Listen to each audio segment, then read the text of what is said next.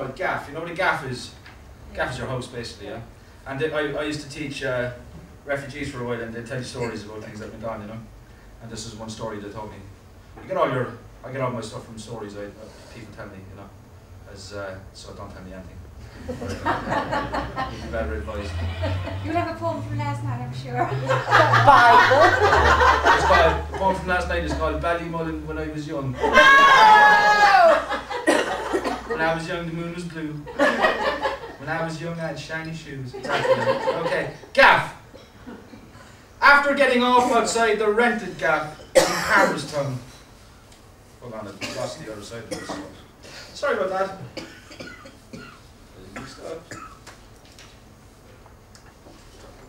Excuse me.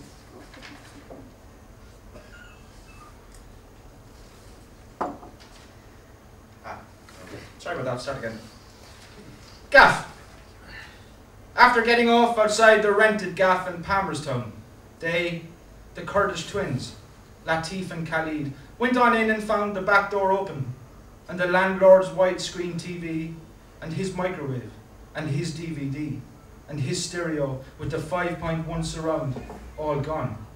And on a white tile in the centre of the kitchen floor, the icing was a warm, steaming, half pound squiggle of shit. What a compliment.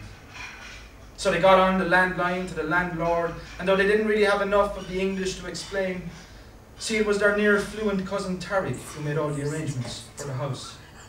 Still, they did their fa fa faltering, st st stuttering, pidgin damnedest to communicate the unwelcome event taking place. Though the crap, they agreed, would just be too indecorous to mention. Took all of 35 minutes for the landlord to burn up the road from Naas, by which the lads had both had to flee twice up the stairs to spew out their lunch from shoveling that mess up. The perfume, of course, they couldn't get rid of. And when the landlord addressed them in sentences punctured with snorts, grunts, and tut-tuts, the two boys assumed invisible spores had this measured young man in a suit so irate. He seemed to use the wrong parts of his throat. So they nodded and were jolly when he announced something like he'd return anon to fix it all up, and took the instruction to sit tight and wait.